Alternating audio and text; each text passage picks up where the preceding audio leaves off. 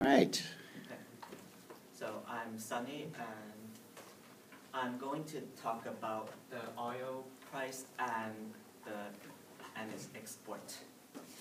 So oil has been increasingly expensive due to high demands and limited supply. Recently, new technology uh, led to a boom in U.S. oil production. This technology is called hydrofracking. As you can see in this diagram, the oil company will shoot um, water and chemical at a very high pressure onto the shale rocks so that the shale will release shale gas and the oil company will um, collect these gas so that it can use it as um, to use it to make crude oil.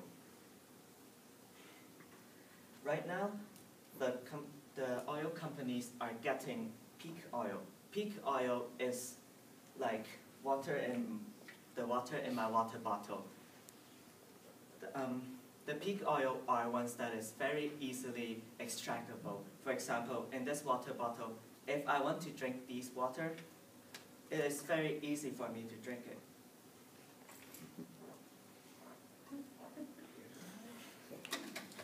Is this empty? No, there is some water left. Can you see these droplets? These are, the ones that I drank easily are like the peak oil. They are easily extractable. However, there are still oil left. Those are the ones that is, um, those are not peak oil and it is too expensive to extract because it is not profitable.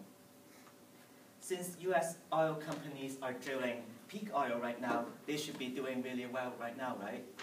However, they are not they're actually not doing really well because there is a ban on most of U.S. crude oil exports.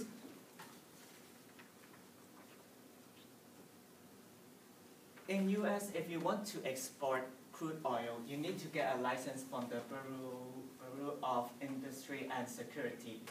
This is a branch of the Department of Commerce. The oil company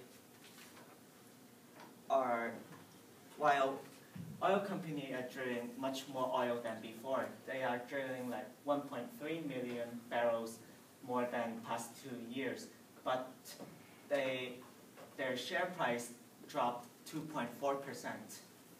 This makes oil company don't want to drill the oil because it is not profitable. The effect is that U.S and Canada has a much lower oil, oil price compared to the international benchmark of $116. The US is selling for like 50 to $60.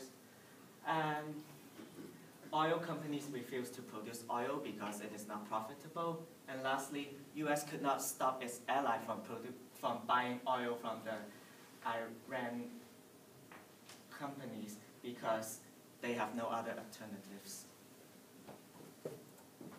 This is my works cited page.